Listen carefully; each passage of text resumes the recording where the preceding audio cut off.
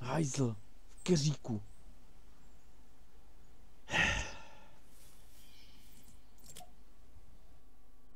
Není možné toto, to fakt není možné.